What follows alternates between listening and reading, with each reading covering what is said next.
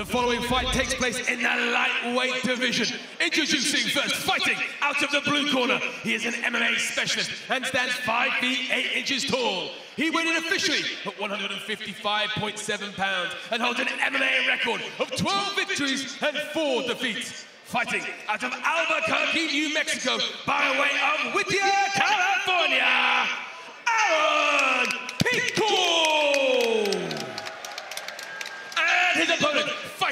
Out of the red corner. He is an MMA specialist and stands 5 feet 8 inches tall. He went in officially at 155.7 pounds and in his 28 fight career has earned a record of 21 wins and 7 losses. Fighting out of Phoenix, Arizona by way of La Mirada, California, Henry OK Corrales. Referee in charge, Brian Miner.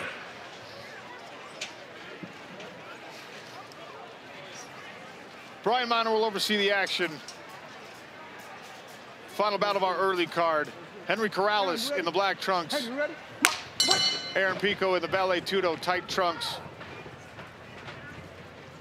I was on the card the night that these two fought for the very first time. I saw Aaron Pico behind scenes after the fight to explain to you how dejected he was would be difficult to put into words. But one thing about Aaron Pico, even in defeat, he gets up the next day, he goes to the gym, he looks forward.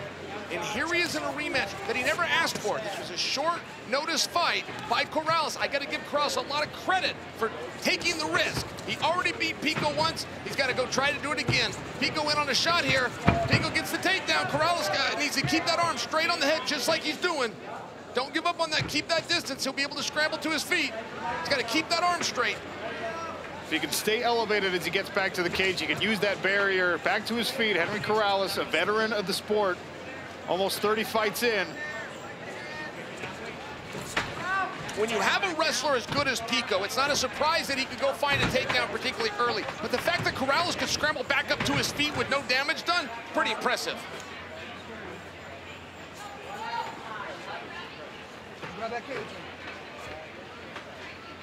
Pay-per-view card coming next. Pay-per-view champs versus oh! Nice high kick attempt there from Pico on the exit. Dan, you could hear that, couldn't you? You know I love a high kick, and yep. that one snapped right to the side of his head. Yeah, right no, hand before this takedown. Once again, Pico using that angle, running his feet in a tight circle. And this time it's going to be harder for Henry Corrales to stand up. You could see that veteran experience in Henry Corrales when Pico grabs a hold of him, making every single battle dangerous for him, difficult for him. Trying to get into the floor, he makes it very, very hard work. Everything Pico's doing, he's having to earn here right now. Look at this, beautiful work. Corrales using the fence to get back to his feet. He's going to dig an underhook in a minute, but he's very aware of those elbows. Driving elbows, left hook, and then back in on the leg. Pico just chaining the attacks together. Now working his way to the back of Henry Corrales. Little mat return as Corrales tried to climb his way up the barrier.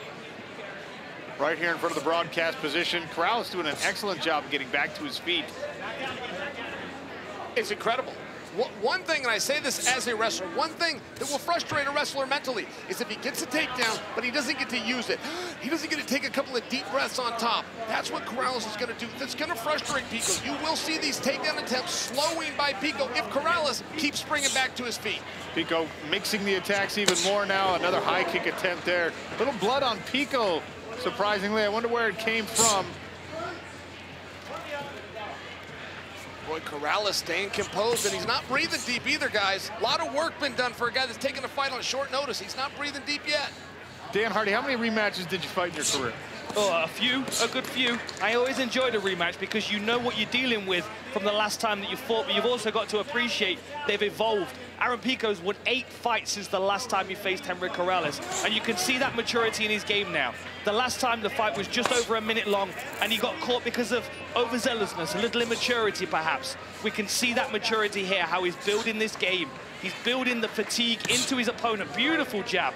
And I will go out on a limb, and I'll take the controversy, but I think you'll agree with me. Aaron Pico's got some of the best hands in all of mixed martial arts. Well, you've heard Chael talking about his wrestling credentials. He was also a Gold Gloves champion, which is why the sport of mixed martial arts was so excited about his choice to come into mixed martial arts instead of pursuing an amateur wrestling career.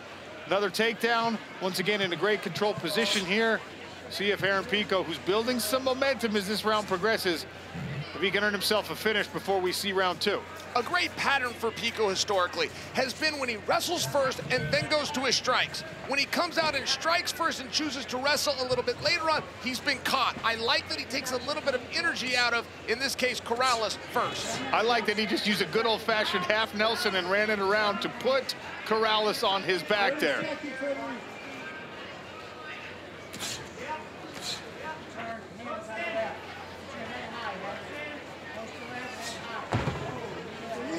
Pico's got to be careful. It looked like he attempted a knee there. If he had landed that knee, it would have been illegal if it landed on the head.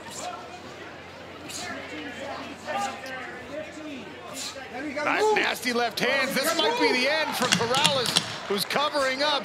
And a flurry of elbows. Ah. We will not see round two. Revenge for Aaron Pico. A very impressive, well-rounded, mature performance. Ladies and gentlemen, referee Brian Mahler calls a halt to the action at 4 minutes and 53 seconds of the first round, declaring your winner via TKO, Aaron Pico!